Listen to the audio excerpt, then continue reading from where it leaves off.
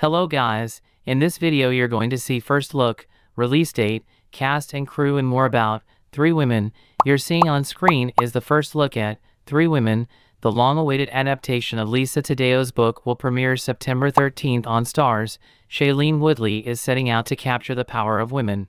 The Big Little Lies alum returns to novel adaptation Ensemble TV with Three Women, based on Lisa Taddeo's best-selling book of the same name.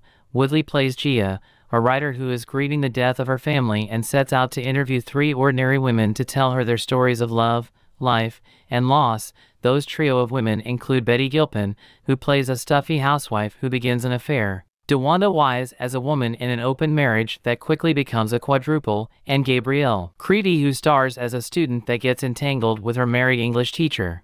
The synopsis is, three women are on a crash course to radically overturn their lives, Lena, a homemaker in suburban Indiana, is a decade into a passionless marriage when she embarks on an affair that quickly becomes all consuming and transforms her life. Sloan, a glamorous entrepreneur in the Northeast, has a committed open marriage with Richard until two new strangers threaten their aspirational love story. Maggie, a student in North Dakota, weathers an intense storm after accusing her married English teacher of an inappropriate relationship.